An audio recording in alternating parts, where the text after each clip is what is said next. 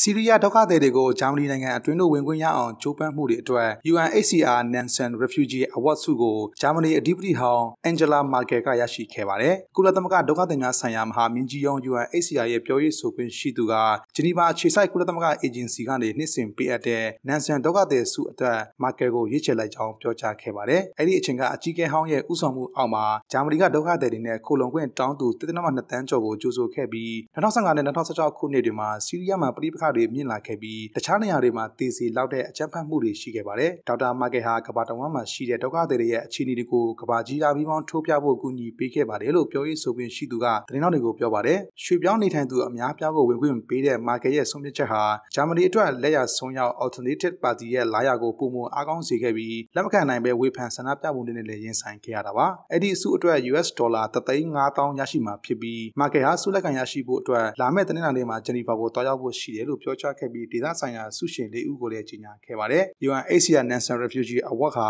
ဒုက္ခသည်တွေနဲ့တခြားသောအိုးမဲ့အိမ်မဲ့တွေနိုင်ငံမဲ့လူတွေကိုကာကွယ်ဖို့အတွက်သတ်မှတ်ချက်ထက်ကျော်လွန်ပြီးတာဝန်ထမ်းဆောင်နေတဲ့လူတဦးချင်းဖွဲ့များသို့မဟုတ်အဖွဲ့အစည်းတွေကိုဂုဏ်ပြုကြောင်းအေဂျင်စီကပြောပါတယ်။ကမ္ဘာနိုင်ငံပေါင်းကျော်အသင်းကြီးဖြစ်တဲ့ကုလသမဂ္ဂစတင်တည်ထောင်ခဲ့တဲ့1954ခုနှစ်ကစပြီးဆုရှင်ပေါင်း60ကျော်အနက်ဒုက္ခသည်တွေအတွက်ပထမဆုံးကော်မရှင်နာဖြစ်တဲ့နော်ဝေးသိပ္ပံပညာရှင် Frik Jorg Nansen ကိုဂုဏ်ပြုရမှာတဆင့် UNHCR National Refugee Award ဖြစ်ပေါ်လာခဲ့တာဖြစ်ပါတယ်